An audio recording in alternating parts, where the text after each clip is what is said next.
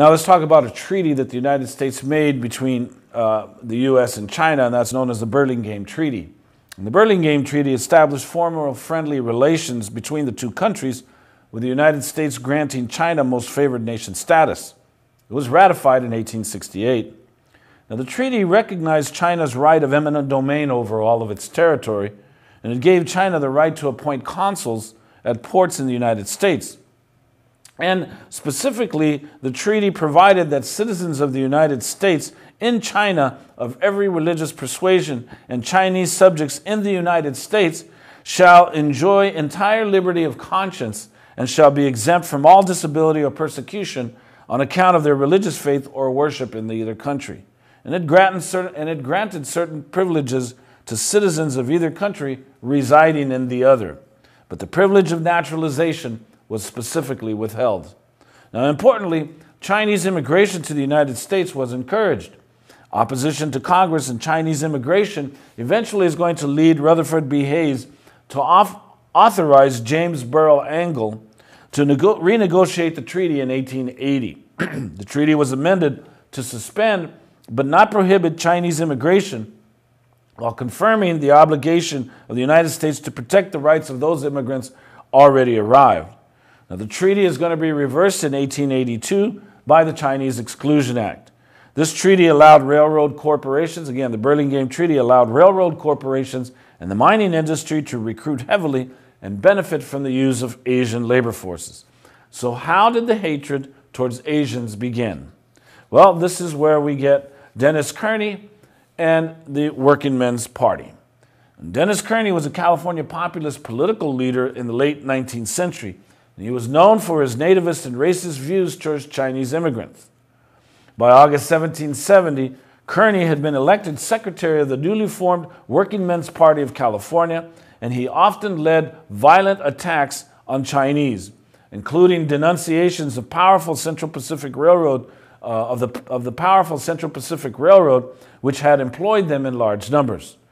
Kearney's Irish immigrant background made him subject to frequent accusations since Kearney was uh, a, foreign, a foreigner himself. So his populist rhetoric and his nativist baiting, similar to the tactics used by President uh, uh, Trump, by Rush Limbaugh, by Glenn Beck today, gained him a considerable following.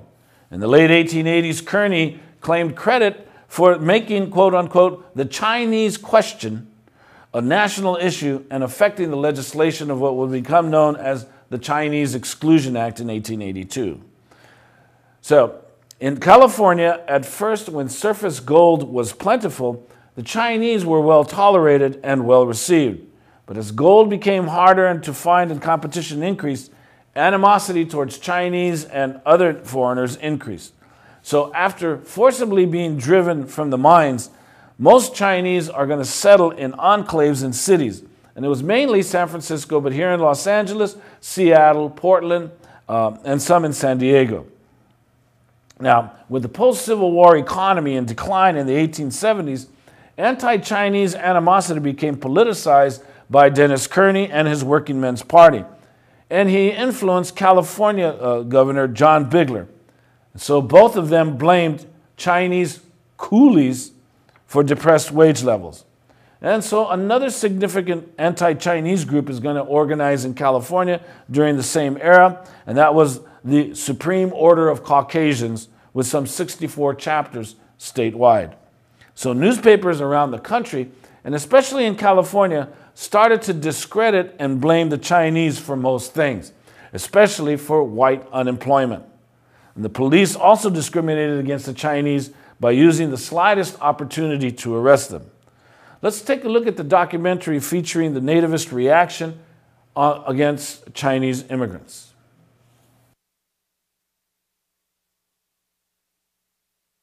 Violence against Chinese laborers increased the most prevalent sign of a growing nativist movement aimed at all immigrants.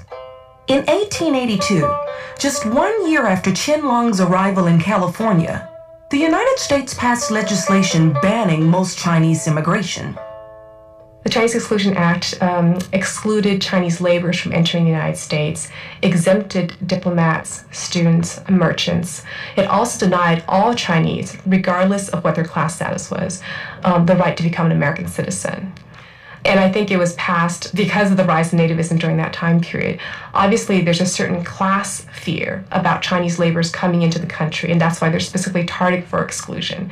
But I think it receives national support and it receives support from all the various classes because all Chinese are viewed as somehow un American, that they bring over not just the possibility of lowering the wage scale, but also these dangerous habits associated with heathenism. It really sets the precedent for a series of Asian exclusion laws and really immigration exclusion laws as a whole. Immigrant and minority groups.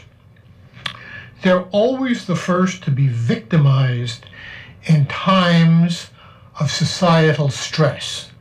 When there are economic problems, they're blamed for bringing on the economic problems. When there are crimes, they're blamed for being the criminals, even when there's no evidence. People assume the other. The Exclusion Act would finally be repealed in 1943. But until then, facing loneliness, discrimination, and the threat of violence, Many Asian immigrants chose to return home, but many more stayed in San Francisco and built a strong cross cultural society that would have a deep and lasting impact on American life. Okay, so that's the Chinese Exclusion Act. The Chinese Exclusion Act was a significant restriction on free immigration in U.S. history.